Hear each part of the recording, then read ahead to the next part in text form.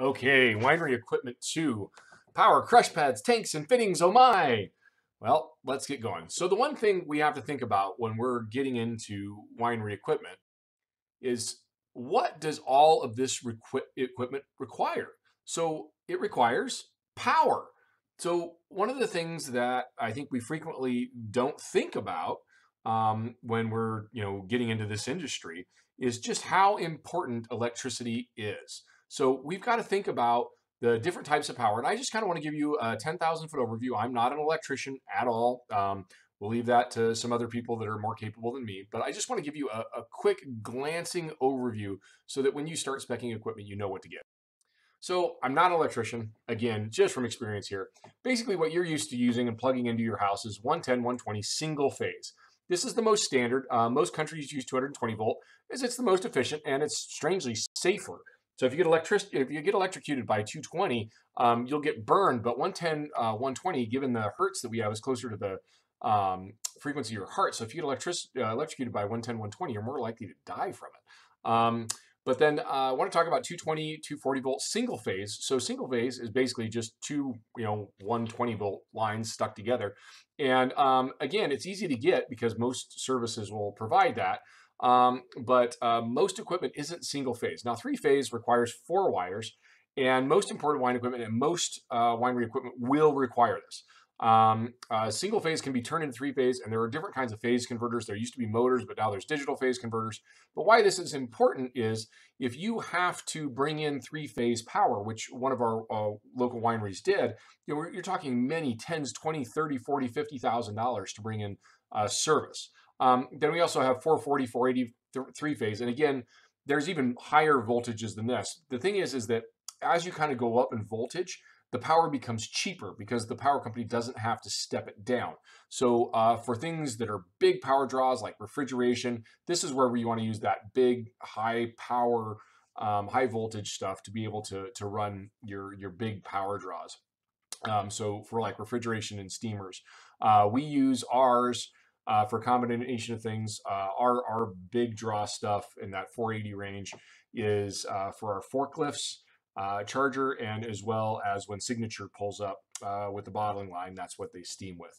So again, just think about it. Uh, just know that when you go buy a piece of equipment, you can't plug it in. you might want to consult some other people. This isn't, again, a lesson in electrician, you know, being an electrician at all. it's just to make you understand that you've got to think about what you're going to buy and why you're going to buy it.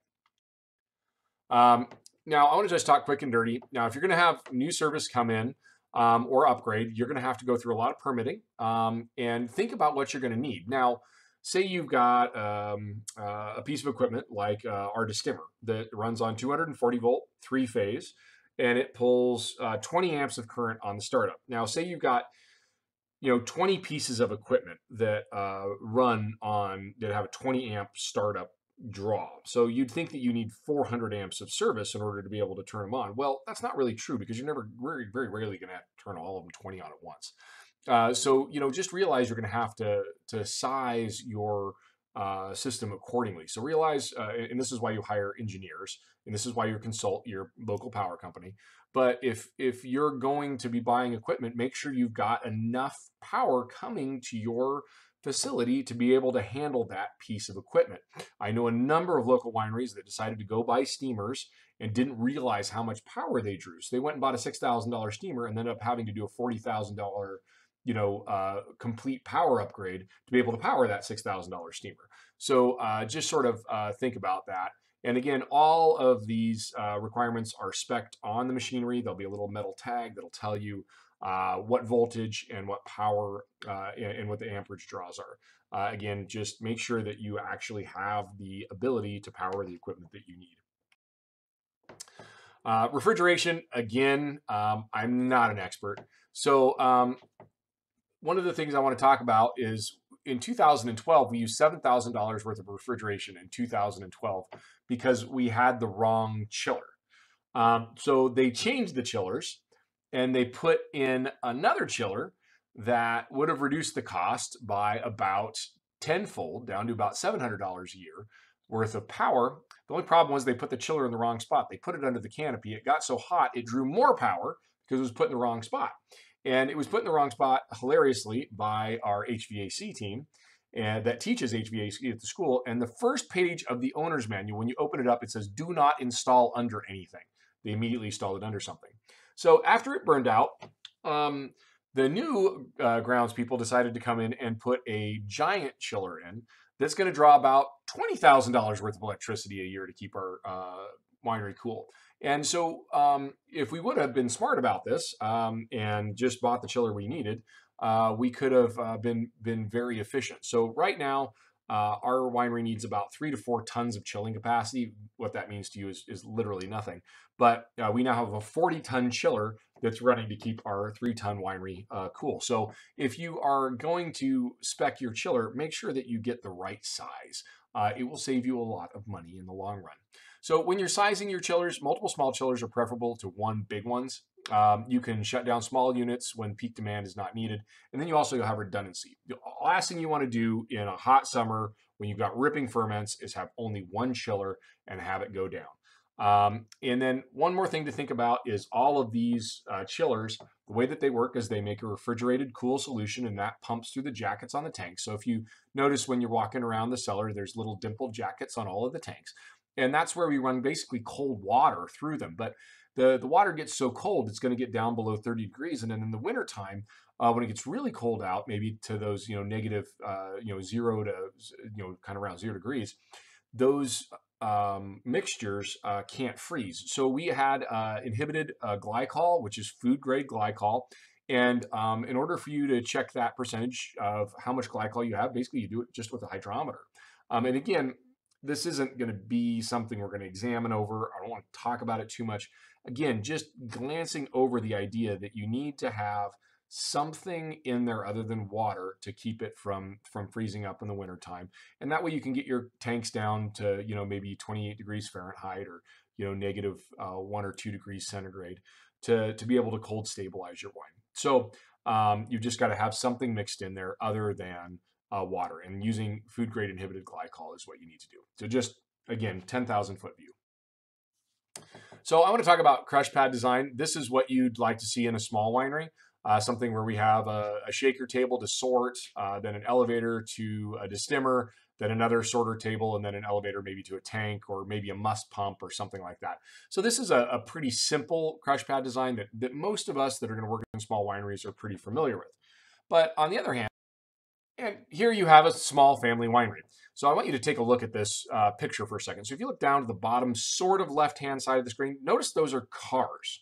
Yeah, those are cars. And just to the next of those cars, each of those tanks holds a million gallons. This is the largest winery in the world. This is Gallo's Livingston facility. And um, I've toured it. It's pretty fascinating. So if you look at that U-shaped driveway right there, this is where the trucks come in and go, and those are that's directly to the left, kind of center side. And if you see those big, kind of not big, they're just sort of like look like black cockroaches to the left. Those are actually semi gondola trailers, and those hold 20 tons apiece. And so as the trucks pull in, uh, they come around this U-shaped turn, and then they have cranes that tip the, the trucks to the sides. So They don't have to back up and dump and they can receive something along the lines of, I want to say it's like 20,000 tons a day. Um, and so each of those uh, places where you you see where the, the the dumping is going, if you look directly to the right of where that U-shaped sort of driveway is, you see a bunch of things that look like you know tin cans on their side. Those are um, presses that hold 100 tons each. That's right.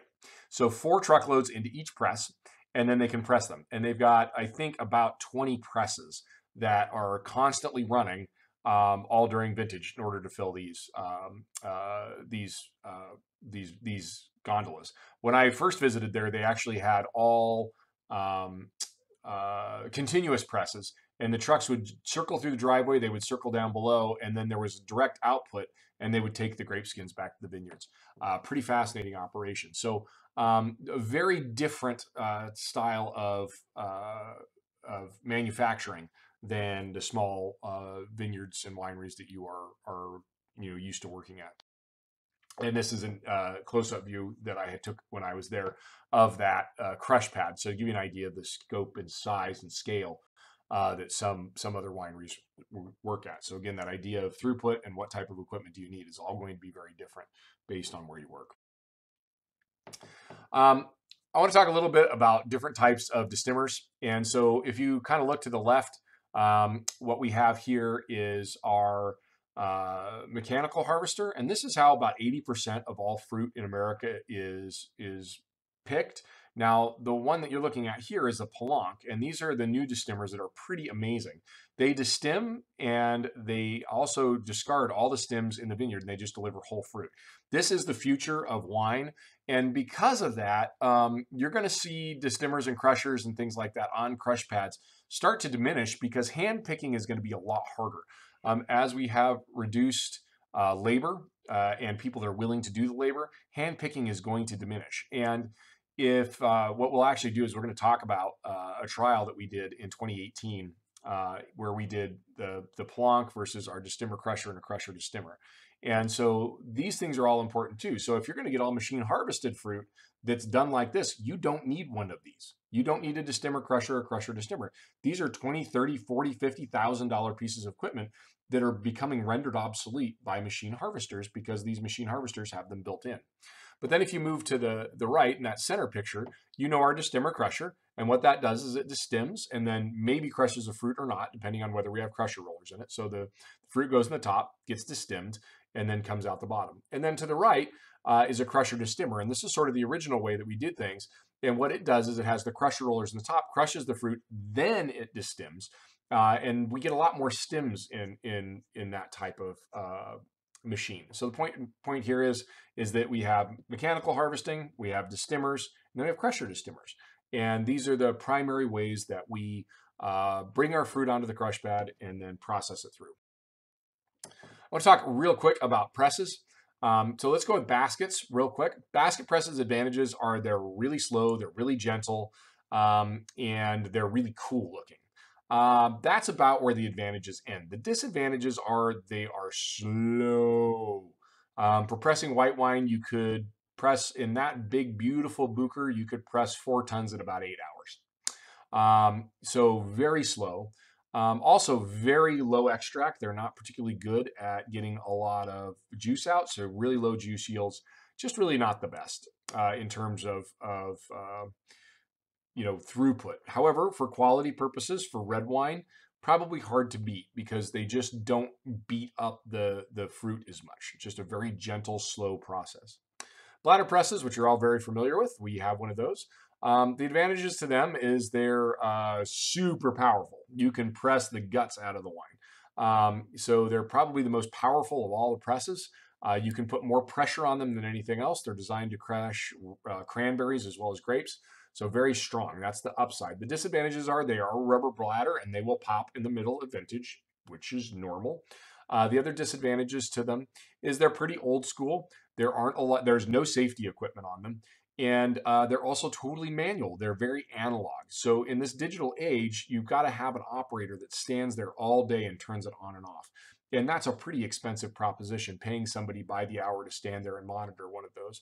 And again, disadvantages in this modern day and age, something that is that archaic and you know lack of safety uh, is pretty terrifying uh, to have on your crush pad. So let's also talk about membrane presses. This is pretty much the gold standard. Uh, this is the same as our Bucher that we have at our crush pad. The only difference is uh, this is one that I worked on in New Zealand, and this holds uh, 50 tons of fruit. So, whereas our destemmer or our little press, we can cram in about, you know, maybe two and a half tons. Um, this is about 20 times bigger. Uh, it's as big as me standing up and down. Uh, and this particular winery worked out had 12 of them, and we could receive about 1,400 tons a day. Um, the advantages to uh, membrane presses is that since they press from the side, uh, you can only put that giant press could press one ton of fruit perfectly just fine. So it doesn't need to have a certain load. Um, the disadvantages to them is that they're computer programmed, so you're going to get what you're going to get. You know, you don't have that analog ability like you do with the bladder press to get to press just as much as you want until you get the flavor profile you want. Um, so that's one of the downsides to them. Um, but the upside is is that you fill them, you press start, and you walk away. Um, and the other disadvantage is because it's a fill and empty, like all of the other presses, the the bladder and the the um, uh, basket press, you've got to fill it up, you've got to press, and then you've got to empty the pomace. So that is a fairly slow process. I mean, we're talking two, three, four hours to do a press load. Now, screw presses, which is to the right, um, these are typically used for Concord juice extraction. A lot of times they'll heat up the Concord juice, you know, grapes and then they hot press them. So the advantages to these are is they're direct throughput. You put the fruit in and the juice comes out the bottom, skins come out the side.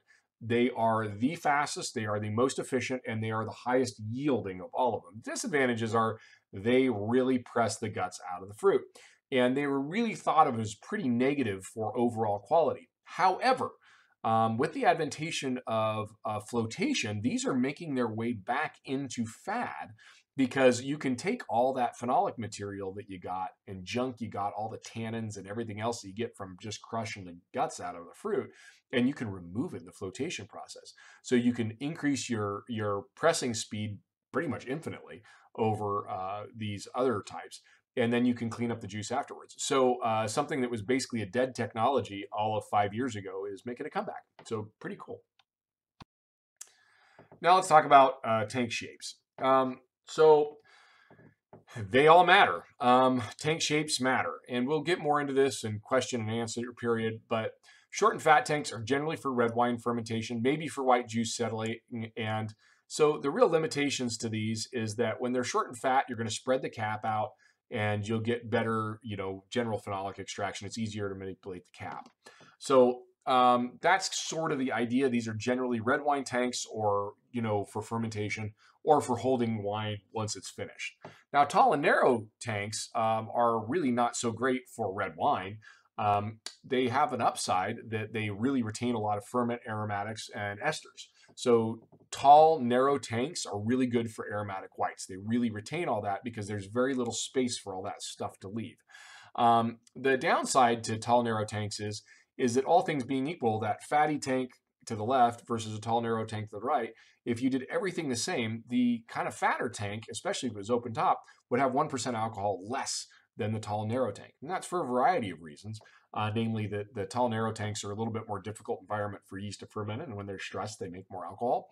And the other thing that sort of happens is, is because there's no place for it to leave, um, you uh, the ethanol to leave out the top, uh, you will actually retain some. So uh, there's advantages and disadvantages, and also realize that the smaller and taller and narrow your tank is, the more expensive per square foot it's going to be. It requires a lot more material, so they become a lot more expensive. So tanks, there's so many different kinds. So closed top, the advantages to that is they're closed, they're sealed. The downside to closed top tanks is that if you have a closed top and you want to store wine in it, you have to make sure that tank is 100% full or you've got to gas it basically every day with an inert gas. If not, those wines will go bad. So that type of a tank, you want to size really accurately. Um, open top tanks are great for fermentation, but that's all they're good for because after you ferment, if they're completely open top, there's nothing you can do about it. So after your fermentation, those those tanks are very uh, short-lived and they are only used during harvest. Variable capacity is basically an open top with a floating lid. Um, the upside to those is is that you can uh, you know put any volume of wine in them, and then you can set the lid on it and seal it. The downside to variable capacity uh, tanks is that those gaskets fail and then they leak and then you get bugs in it. Or those gaskets uh, the wine expands and squirts up over the top the next thing you have mold and rot. And then i have never seen a winery where the gasket is completely immaculately clean all the way around.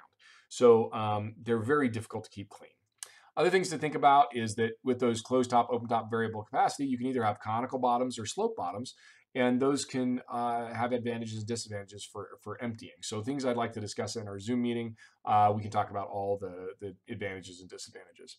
Um, other things that are important are uh, materials. So stainless steel, I'm going to talk a little bit more about that in a second. Not all stainless is created equally. Um, and then we also have concrete, and concrete's very in vogue right now. It's very popular. It was very in vogue 200 years ago when that was the best material we had. But one of the things I find amazing about the human uh, capacity is its uh, capacity to forget. And so we've seemed to have forgotten how bad concrete was, so we brought it back. Um, and it'll stick around for a while until people realize how bad it is again, and then they'll epoxy it all closed like they have in every winery in France because you can't really clean it. But um, it does have some advantages uh, because in in in wineries the the stainless steel has its disadvantages because it's very slippery nothing fun for the yeast to sit on whereas concrete does provide a better environment for fermentation kinetics. So you know from a fermentation standpoint if you like yeast if you like microflora concrete's really good. And then wood has its advantages too. We'll talk about oak and oak chemistry but wood is much like concrete. It gets infected and it's really difficult to keep clean uh, but the upside to wood is that there's, we, as we've learned uh, over time, and again, we'll talk about this more, uh, wood actually does have compounds that integrate into red wine to help uh, stand tannin stability, uh, flavor, and structure of wine. So there are things that it actually contributes. But again, wood is a very limited lifespan. If you have a fermenter, you'd be lucky to get five, six vintages out of it before you start to have some things growing it that you, you really don't want. So Again, I want to talk about stainless steel real quick. It's all the same, right? Well, no, it's not. There are a lot of different kinds. Um, and so uh, this is just kind of taken straight out of uh, Wikipedia, which is, I know, terrible. But uh, there is a lot of different types of stainless out there. So there are three types for wine industry usage, and some people cheat. Uh, not all stainless is created equally, and you need to be able to get it checked. So uh, 304 is the most common type of stainless steel in the wine industry. Make sure that it is at least that. Um, 316L is a little bit better, and this is the high grade stuff. You walk down in our cellar, you'll see 304 with our Letina tanks. We do have one tank that's 316L. It's Spokane Industries. It's our tank four, which is uh, my favorite tank, but it's really expensive. The difference between those two tanks, uh, we have a, if you were to go to tank three, which is a thousand liter uh, you know, 304 tank, that was $3,000. The 316L tank that we have, which will last forever, uh, was about $11,000. So you're looking at about three to four times more expensive. Um, and then 303 stainless is the same as 304, but it's treated a little differently to assure uh, machinability. So this is for your valves and fittings, etc. So be sure that metal is SAE uh, certified or AS, uh, AISI certified, American uh, Iron and Steel Institute, uh, because if not, you will get tanks that rust. And I have seen that before. People got these beautiful tanks that were off-brand, and the next thing you know, they are all rusty, and all that iron is going into your wine, which is going to cause terrible things to happen later on down the road. Real quick, valves and fittings. Um, this is the most important thing you will learn in this in you know in this lecture. If anything else, valves and fittings. Um, I worked at a winery locally that uh, when I brought was brought to town that bought uh, the old Waterbrook facility, and they had bought they bought the building, uh, didn't buy the building, they bought the tanks and they bought the big equipment. But what they didn't do is look in all these bins. There was all these bins, and the guy that bought everything was a billionaire, and you know he didn't think twice about uh, all the small things. He was looking at the big shiny stuff. So he bought the big tanks, and in the meantime, the smart buyers at this auction bought all of the harvest bins full of valves and fittings. And when I started working at the old Waterbrook facility, I said, "Hey, we got to buy valves and and things like that." And he said, "Okay, go buy valves." And so I bought valves for his big shiny tanks, and the bill was forty thousand dollars for enough valves and fittings to put the tanks together. So um, I just think that it's one of those things that adds up really, really quick. I'm going to go through it really fast. Um, right now, if you were to add up all the valves and fitting we have just in the cellar, you'd be over $8,000 for just what we have downstairs. So um, that is pretty bonkers. So I want to think about valve pricing. So this is, uh, you know, buying the really expensive uh, Definox uh, valves from Central Industrial Sales. Uh, you can buy a four-inch ball valve or a butterfly valve for $400. So the ball valve that we have on the back of our um, uh, membrane press, uh, that was an $800 valve. so give you an idea that these things add up really, really quickly. And when you need to have, you know, 40 or 50 of these, this can really be a shocker to people. Um, and then on the other side, uh, you can go to St. Pat's of Texas and buy that same four inch valve for $130. But what I will encourage you to do, if you have time, is look up St. Pat's of Texas and look up their Yelp reviews. It is hilarious. Maybe there's a reason they're so cheap. Um, real quick talk about valves. Uh, butterfly valves are what you're most used to seeing. Butterfly valves are really great for pumping wine. But if you take a look at that butterfly valve and you try to pump must through that, I think you can see where there's a problem. You can get stems hung up, you can get all sorts of things hung up. So uh, butterfly valves are a problem because you can't pump straight through them. Um, but when you seal them, the sealed edge is very small. It's a very singular line on a rubber um, uh, gasket. Whereas if you go to the ball valve, when you open a ball valve, you get to see straight through it. That's the upside. The downside to a ball valve is a few things. Number one, when that valve is closed sideways, it still has wine in it. So if you're fermenting, you cannot just close the valve, or they'll build enough pressure during a fermentation, you'll blow the valve up, and then you dump your whole tank on the ground. Um, so whenever you're using a ball valve, you can pump into the tank, you can close it, and then you have to cap off that ball valve and open it back up at night. Um, and then also ball valves are a nightmare to keep clean because that ball, when it rotates to the side, you can never get it totally clean. It always traps stuff in it. It's a big pain. So again, this is that idea of butterfly valves, no extra thing required. But let me explain to you a couple things. There's always hot spots um, in those gaskets and junctions. You've got to take them apart every year and clean them out. Um, and you just got to rebuild them. It's just part of the nature of the beast. It's just part of running a winery. Every year, all the valves come down. They all come out. They all get taken down. They all get broken down. They all get cleaned up, and they all get put back together. If you need to replace gaskets, you do. Same with ball valves, same thing. You need a cover to leave them open. Again, there's these hot spots in gaskets and stainless junctions. You got to stay on top of them, and they've got to be rebuilt regularly. Against once a year, they've got to come all the way apart and make sure that they're totally cleaned out. I want to talk about different types of fittings. Uh, RJT, sorry for this, I'll change it in the PDF. Uh, looks like it's coming up funny in the YouTube video. Um, RJT stands for ring joint type, and uh, these you'll see in um, uh, Australia frequently and overseas. And then we use triclover fittings. Uh, and it was really interesting to me to go travel around the world and realize that almost no one else uses triclover fittings. It's a fairly American thing to do. Um, I'll talk about RJT fittings. These are really widely used. They're super easy to connect. You just whack them on and thread them into place. They're super durable and they're really good for big connections. Uh, they're much easier to put together. Putting together a three or four inch uh, triclover fitting by yourself is quite a feat uh, whereas an RJT is much easier. Uh, the downside to RJT fittings is you can spin them, you can cross the threads, uh, which means they're getting worn out regularly. Gaskets don't really come out. They're not commonly clean, so they're a little bit dirtier. So they're just not as sanitary as a triclover fitting, which is why the dairy industry primarily uses triclover fittings on their, their equipment. Um, so triclovers, again, these are widely used. They're easy to sanitize. There's none of that risk of you know, spun threads. The gasket inspection is really easy. You can take a look at the gasket, make sure it's really clean, and they work really well on smaller hoses. Uh, the downside is they're cumbersome, um, and the ferrules on them, which is that edge, when people slam them on the ground, they dent, and when they dent, uh, you can't seal them really well, and they can leak really easily. Um, so the clamps aren't terribly durable either, and they tend to break. So uh, there is no perfect uh, solution, but those are the two most common type in the wine industry. All right, then we're, we're getting close. We're almost there, boys and girls.